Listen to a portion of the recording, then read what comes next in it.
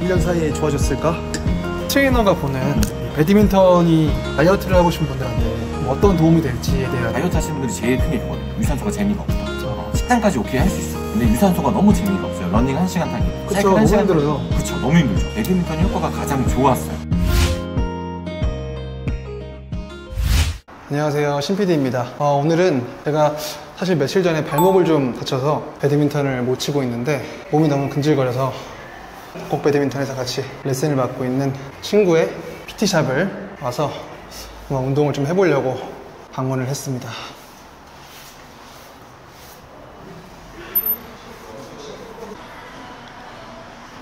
안녕하십니까 안녕하세요. 팀피디님이 1년 네. 만에 인바디를 다시 측정을 하려고 하고요. 1년 동안 이제 배드민턴 치면서 몸이 얼마나 바뀌었는지 한번 체크를 한번 해보려고 합니다. 네.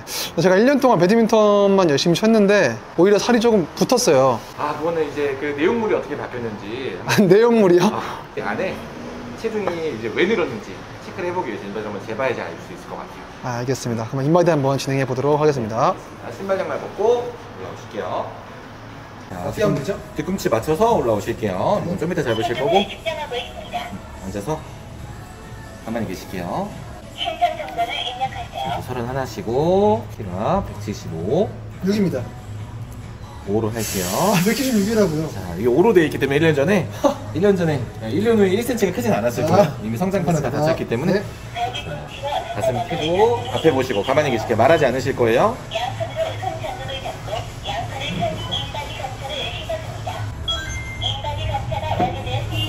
거 맞나요? 네. 아, 오늘 양말 신는 것까지 찍어요? 아, 1년 사이에 좋아졌을까?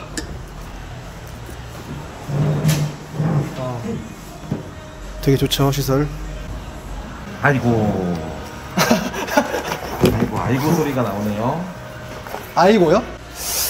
아이고라면은 좀 잘못됐나요? 네, 상태가 조금 안 좋아졌네. 1년 사이에 아, 그래요? 그래프 자체가 조금 많이 바뀌었어요. 아. 어, 여기 이제 1년 전.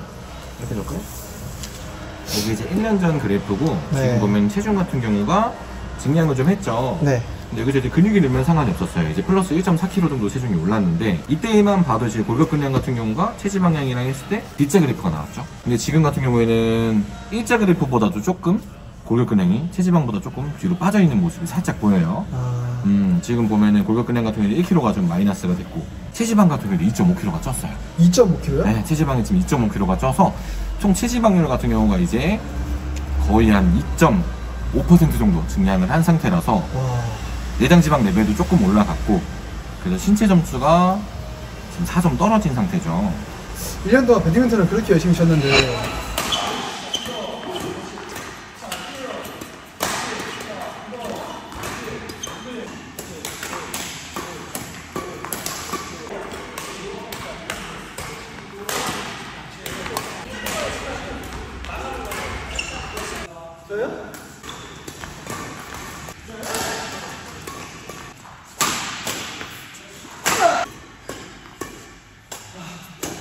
쳤는데 아, 근데 이게 배드민턴의 문제는 아닐 거고 제가 봤을 때는 약간 이제 식단과 네. 이제 술 어, 이런 게 좀 문제가 좀 크지 않았을까. 아, 식단과 술이요? 어, 그렇죠. 왜냐면 저도 이제 배드민턴으로 다이어트를 한 입장으로서 네. 어, 이제 저는 이제 배드민턴 치면서 식단을 하니 네.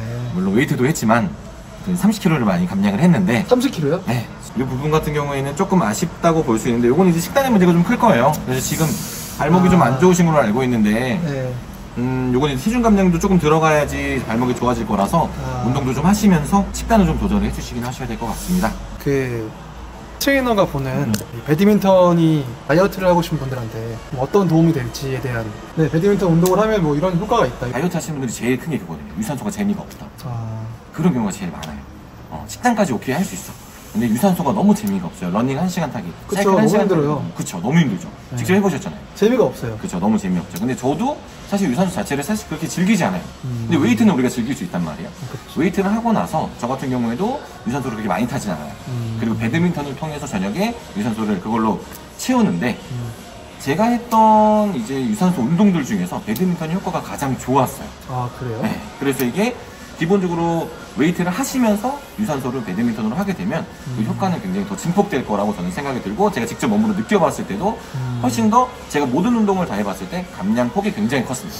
결국에는 배드민턴은 다이어트용 유산소 운동으로는 굉장히 좋은 운동이다. 어, 굉장히 좋다고 생각할 수 있습니다. 알겠습니다. 그럼 제가 1년 사이에 살이 찐 거는 이거는 이제 배드민턴의 문제가 그죠. 아니다? 배드민턴의 문제가 아니라 이제 그렇게 생각하시면 돼요. 배드민턴 칠때 네. 이제 잘 못 쳐요. 네. 이게 본인의 문제일까요? 아니면 라켓의 문제일까요? 아 그런 거랑 비슷한 거. 그렇죠. 라켓 좋은 거 산다고 잘 쳐지는 게 아니죠. 어, 그렇게 생각하시면 될 것 같습니다. 오늘 좋은 깨달음 감사합니다. 네, 감사합니다.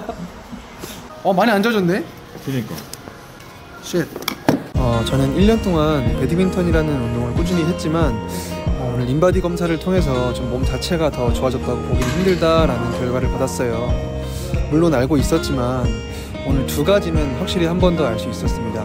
첫 번째는 아무리 좋은 운동을 꾸준히 강한 강도로 해도 그 밖에 이제 식단이나 수면 다른 것들이 같이 적절하게 수행되지 않으면 좋은 몸 상태를 기대하기는 힘들다. 어, 두 번째는 트레이너 입장에서 배드민턴은 다이어트 할 때 유산소 운동 대용으로 정말 좋은 운동이다. 어, 어릴 적 친구분들과 가끔 배드민턴을 쳐봤던 분들이거나 아니면 배드민턴을 한 번도 접해보지 못하신 분들 중에서 음, 유산소 운동을 좀 대체할 만한 운동을 찾고 있었다면 배드민턴에 한번 제대로 입문해 보시는 건 어떨까요?